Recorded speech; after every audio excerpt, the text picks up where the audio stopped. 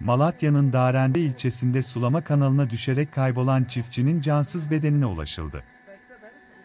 İlçe kırsalındaki Ilıca mahallesinde yaşayan çiftçi Mustafa Akkoyun, 67, traktörünün tankerine su almak isterken dengesini kaybederek sulama kanalına düştü. Durumu fark eden çevredekilerin ihbarıyla olay yerine 112 acil servis, jandarma, itfaiye ve arama kurtarma ekipleri yönlendirildi. Malatya Büyükşehir Belediyesi'nin su altı arama kurtarma ekipleri, kısa sürede gözden kaybolan Akkoyun için bölgede geniş çaplı arama tarama faaliyetine başladı. Kanala giden su çiftçinin bulunması için kesildi. İtfaiye ekipleri yaklaşık bir saatlik çalışmanın Şey- ardından Akkoyun'un cansız bedenini sudan çıkardı.